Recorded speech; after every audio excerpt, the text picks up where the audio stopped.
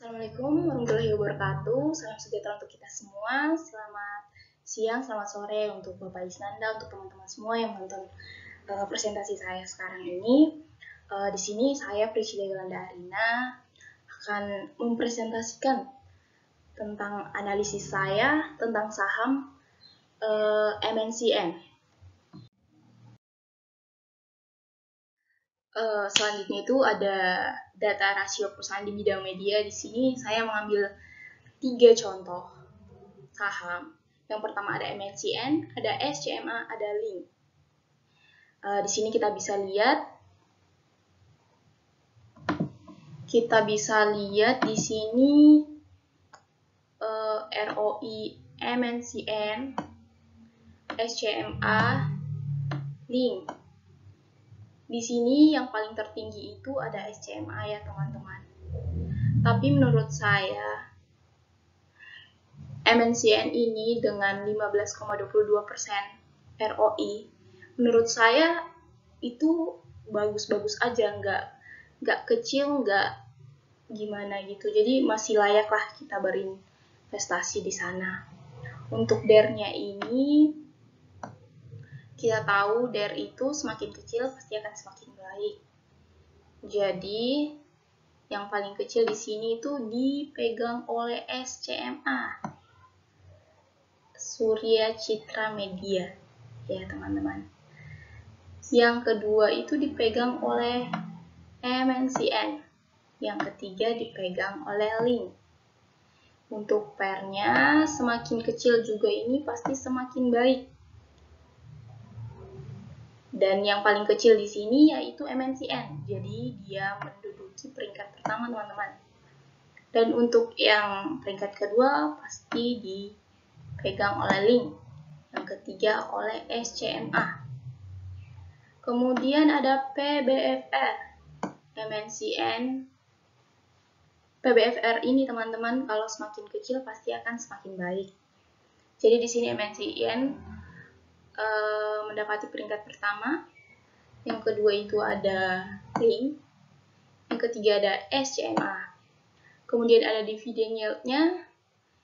Di sini kita lihat dividen yield-nya Link itu paling tinggi teman-teman daripada MNCN dan SCMA. Jadi untuk Link ini mendapat peringkat pertama ya. Yang kedua itu dipegang oleh MNCN kemudian uh, eh, SCMA. Seperti itu teman-teman. Selanjutnya itu ada analisis ranking. Uh, di sini saya menganalisis ranking itu berdasarkan di mana yang terbaik saya beri angka nomor 1, 2, dan 3 begitu. Di sini kita udah tadi di perbandingan rasionya itu tadi kita melihat bahwa yang terbaik dipegang oleh ROI-nya dipegang oleh SCMA. Jadi SCMA saya beri peringkat 1. Kemudian ada peringkat 2 ada link. Peringkat 3 oleh MNCN.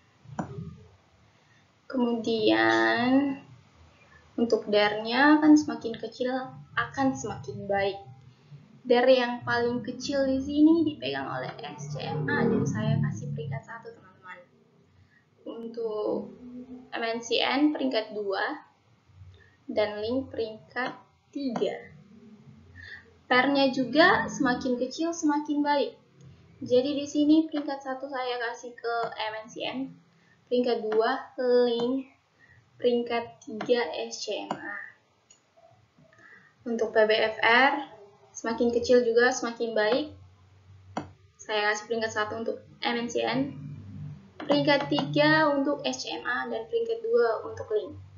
Dividennya di sini eh, peringkat 1 diduduki oleh link ya teman-teman dan peringkat 2 oleh MNCN, peringkat 3 SCMA.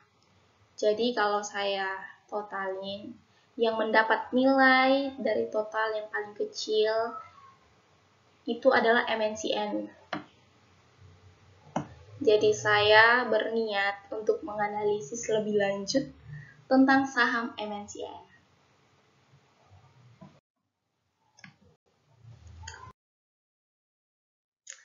Selanjutnya itu who is MNCN?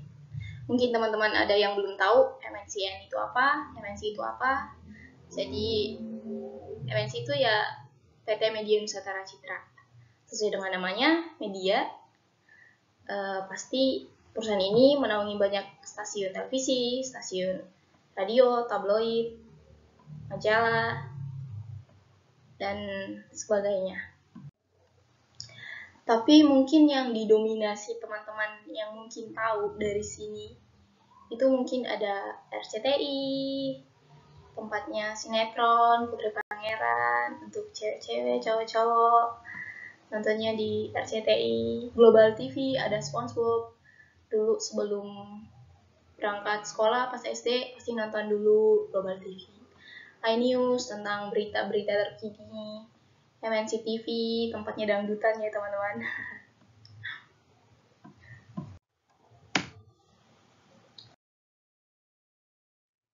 uh, di sini kita bisa lihat data yang ini ya data yang saya ambil ini tuh berasal dari website resmi dari MNC. Kita bisa lihat perbandingan dari beberapa uh, perusahaannya seperti MNC Group, dari MTech, Transcorp, Viva Group, Metro, TVRI. Di sini MNC Group itu berwarna biru, MTech itu berwarna biru-biru tua, Transcorp berwarna ungu, uh, Viva Group berwarna merah dan Metro berwarna kuning, TVRI berwarna apa ini? Gak jelas ya. Jadi di sini kita lihat pertumbuhannya dari FTA TV advert iklan seperti itu itu paling tinggi dipegang sama MNC Group teman-teman. Di sini audiens atau penontonnya dari tahun 2010 sampai 2020 naik pada tahun 2014 ini mengalami keturunan. Keturunan. Sorry teman-teman salah. Penurunan maksud saya.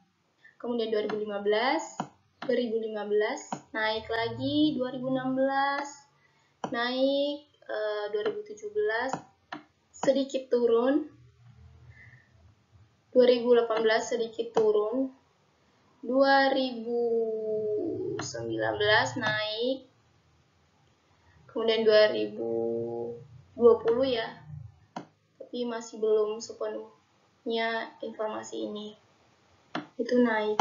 Karena ada riset mengatakan kalau uh, penonton untuk media televisi itu meningkat dikarenakan pandemi COVID-19 karena orang banyak di rumah jadi uh, mungkin itu meningkatkan audiens penonton gitu. Selanjutnya ada di sini ada hasil ini saya ambil dari sumber dari uh, website MNC hmm. juga. Kita lihat di sini pertumbuhannya ini YouTube ya teman-teman.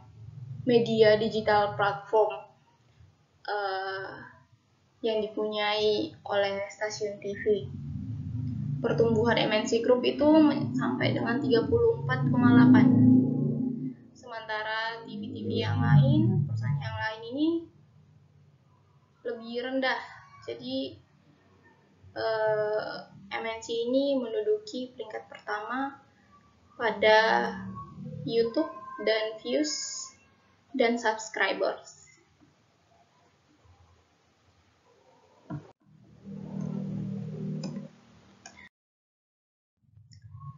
Selanjutnya itu ada digital platform lainnya dari MNC ini ada TikTok, ada Facebook di mana yang kita lihat ini TikTok MNC itu udah mencapai 20,3 followers ya. Itu udah gabungan dari semua uh, medianya baik dari RCTI, Global TV, uh, dan talent search-nya itu semua udah gabungan. Begitupun dengan uh, Facebook ini teman-teman. Selanjutnya selanjutnya itu ada portal berita yang kita lihat di sini. Oke Son mendapat bisa menduduki peringkat pertama di Indonesia dan sindonews.com itu di peringkat 6 teman-teman kalau kita lihat di sini OKZone bisa mendahului google.com jadi bisa dipertimbangkan mungkin teman-teman yang untuk mau membeli saham berinvestasi boleh dipertimbangkan segala aspek ya teman-teman. Selanjutnya why MNCN why? Kenapa saya memilih untuk menganalisis ini? Karena tadi dilihat, sudah dilihat ya teman-teman, dari perbandingan rasionya memang e, dari ROI mendapat peringkat 3, e, dividen yieldnya juga peringkat 2, tapi untuk ROI segitu menurut saya cukup lumayan bagus untuk berinvestasi di situ. Karena tidak sampai di bawah banget gitu loh. Jadi masih ada perusahaan lain yang bahkan di bawah MNCN gitu. Apalagi sekarang MNCN itu mempunyai banyak digital platform seperti yang diluncurkan pada tahun 2020 itu RCTI Plus sekarang digunakan oleh satu juta orang. Jadi begitu teman-teman. Uh, sini juga MNCN mengembangkan industri digital dalam lima tahun mendatang mematok target sudah mengembangkan bisnis secara digital dengan porsi 40% dan 60% konvensional dari posisi selama ini.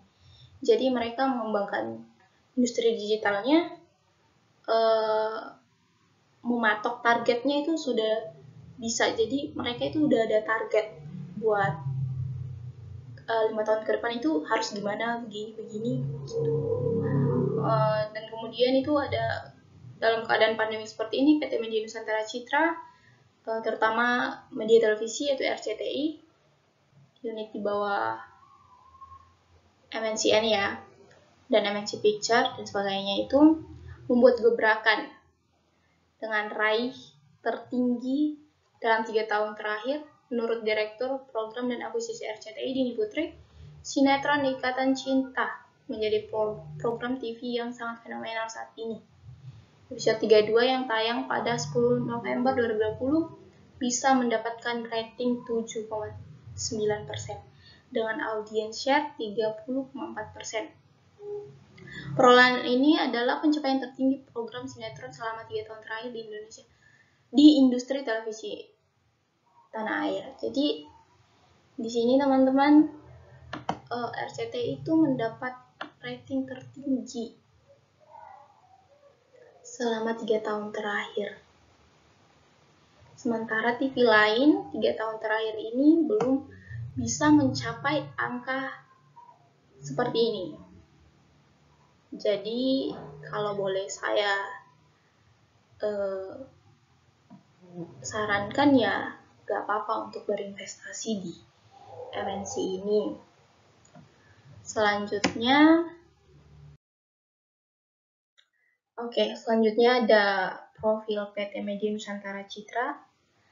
Eh, PT Media Nusantara Citra TBK ini merupakan perusahaan yang bergerak dalam industri media dan konten berbasis iklan, terutama penyiaran saluran televisi.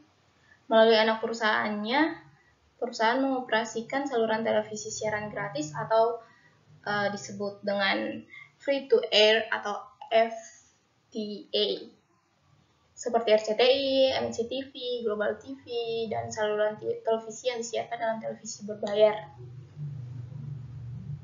Perusahaan juga bergerak dalam bisnis lainnya mencukup radio, eh, media cetak dan online, manajemen bakat, eh, rumah produksi, Anak perusahaannya termasuk PT Raja Wali Citra Televisi Indonesia.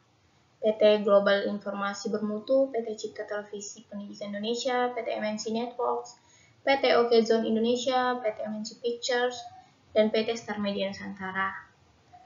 Uh, selanjutnya itu pada tanggal 22 Juni 2007, perusahaan MNC ini resmi mencatatkan saham perdananya di BI. BEI, BEI. Dengan kode saham ya MNCN. Saat ini mayoritas saham digenggam oleh Global Mediacom atau Mediacom itu nama sahamnya BMTR ya teman-teman. Dengan porsi saham sekitar 65,12% dan masyarakat sekitar e, mempunyai 34,9%. Saham MNC ini terhitung liquid dan memiliki tren peningkatan signifikan dari tahun ke tahun. Tapi untuk saat tahun 2020 ini kita belum tahu ya. Selanjutnya itu untuk sejarah singkatnya saya ringkas jadi seperti ini ya teman-teman. PT Media Nusantara Citra ini tidak lepas dengan seseorang bernama Haritano Sucipto ya teman-teman. Kalian sudah tahu ya. Beliau ini merupakan pendirinya pada tahun 990 MNC TV yang sebelumnya dikenal dengan TPI itu didirikan pada tahun 90.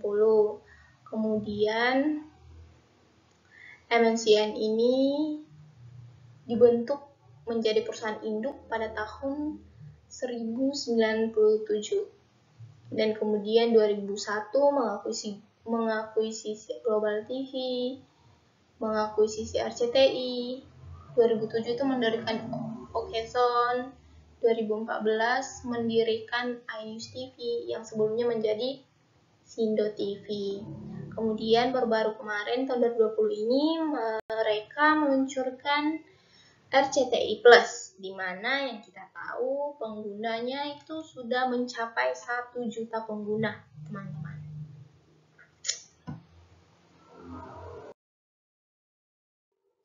Selanjutnya ada manajemen PT Media Nusantara Citra itu Hari Tano Sucipto sebagai Presiden Komisaris, uh, Syarif Nasu, Nasusion kom, sebagai Komisaris, Joel Richard Hogarth sebagai Komisaris Independen, David Fernando Audi sebagai Presiden Direktur atau Direktur Utama ya, kemudian Ella Ertika sebagai Direktur, by Wenarti Setiani sebagai direktur. Teman-teman boleh lihat sendiri nama-namanya atau uh, masih banyak yang lainnya boleh teman-teman tambahkan sendiri, share sendiri. Ya, teman-teman. Selanjutnya ada CSR atau tanggung jawab sosial yang dilakukan oleh MNC ini uh, tanggung jawab MNC ini ada beberapa dalam beberapa bidang. Termasuk ada dalam bidang kesehatan, bidang infrastruktur, ada dalam bidang uh, sosial, bidang kesehatan itu seperti kegiatan donor darah rutin, uh, talk show mengenai kesehatan mata, pemeriksaan mata gratis dalam rangka HUT MNC TV. Terus ada bakti sosial, ada baksos. Kemudian dalam bidang infrastruktur, infrastruktur bantuan pembuatan kisi-kisi saluran di kebun jeruk ya di, di Jakarta. Kemudian bantuan pembangunan sarana air bersih,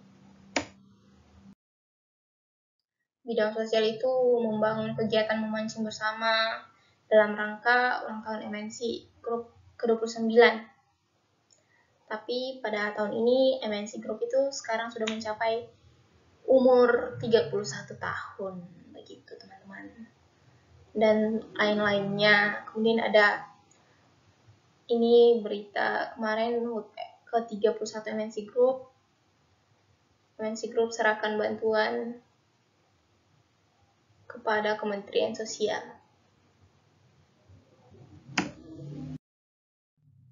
Kemudian ada beritanya, ini HUT ke-31, Go Digital Haritanu Sujipto, MNC Group berpartisipasi membangun bangsa. MNC turunkan utang 1 triliun. Lebih solid, kuat, dan operasional jauh lebih baik. MNCN rombak manajemen warga negara Inggris ditunjuk jadi komisaris independen, teman-teman. Jadi, uh, komisaris untuk MNCN ini orang warga negara dari Inggris, ya. Selanjutnya kita lihat forma year to date YTD ya. Ini saya ambil dari saya screenshot pada tanggal 13 November kemarin. Itu memang dari pas corona ini memang sangat menurun. Tapi uh, kemarin itu mulai ada penaikannya teman-teman sebesar 2,34 persen. Kemudian kita bisa lihat revenue. Revenue ini yang warna ungu. Kita lihat pertumbuhannya itu dari 2015 sampai 2019 itu meningkat. Tidak ada penurunan sama sekali, tapi tahun 2020 karena kita dalam kondisi pandemi. Jadi sebagian besar mungkin perusahaan mengalami penurunan ya teman-teman. Jadi menurut saya ya masih wajar di bawah ini. Uh, masih di bawah angka wajar lah, nggak terlalu di bawah banget. Masih dalam kondisi normal mungkin ya. Kemudian ada balance sheet. Itu ada aset, equity, liability, dan debt equity ratio. Untuk aset ini kita lihat sangat baik ya pertumbuhannya dari tahun 2015, 2017, 18, 19, 20 itu mengalami pertumbuhan, gak ada penurunannya. Dan untuk ini yang paling penting teman-teman, debt equity ratio-nya. Jadi ini DER-nya mengalami penurunan. Jadi di sini itu DER jika DER itu rendah, maka akan semakin baik perusahaan itu, teman-teman.